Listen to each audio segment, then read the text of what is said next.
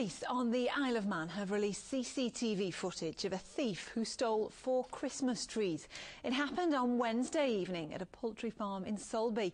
The man was wearing trousers with patches on the knees and a hat with ear covers. The value of the trees was about £200.